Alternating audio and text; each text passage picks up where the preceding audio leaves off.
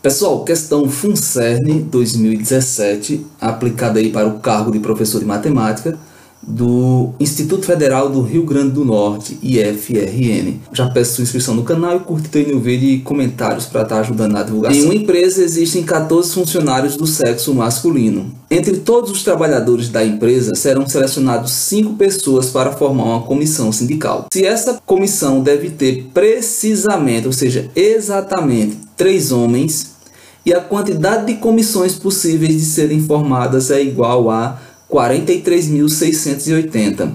Qual é o total de funcionários desta empresa? Então perceba que ele deu a quantidade de homens, tá certo? Diz que vão formar comissões de 5 em 5. Dessas 5 pessoas, 3 devem ser homens, né? Obviamente, duas devem ser mulheres.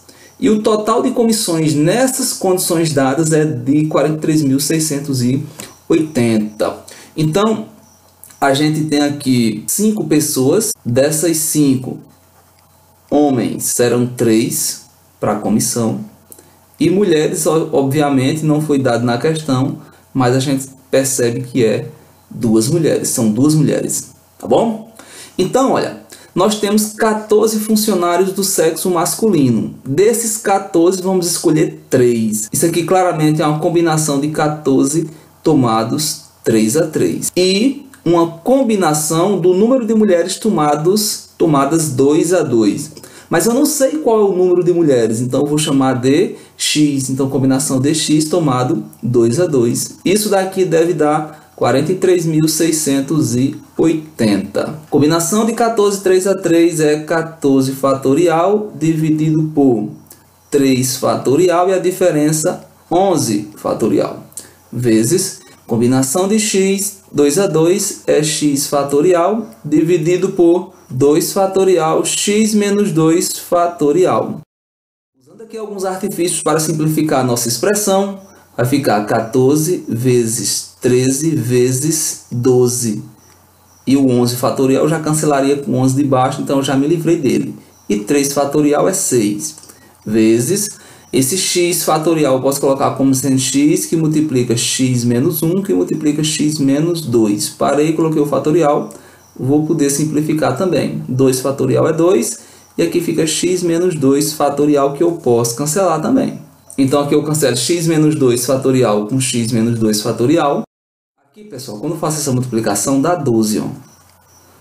6 vezes 2, 12. Eu posso cancelar esse 12 de cima com o 12 de baixo e veja que minha expressão ela já ficou bem mais elegante agora. 14 vezes 13 dá 182. x vezes x, x ao quadrado. x vezes 1 dá x. Portanto, x ao quadrado menos x é igual a...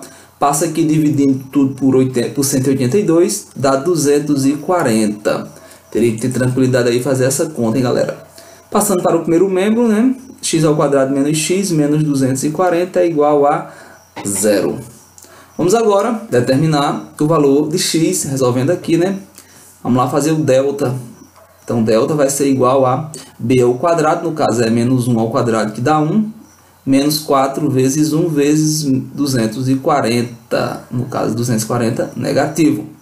Portanto, delta é 1 mais, porque menos por menos dá mais, 4 vezes 4 dá 16. 4 vezes 2 dá 8. Com 1 dá 9. Acrescento 0 e aqui dá 961. Será que isso aqui tem raiz quadrada exata? Se tiver, vai ser algo em torno de 30. Um pouquinho maior do que 30.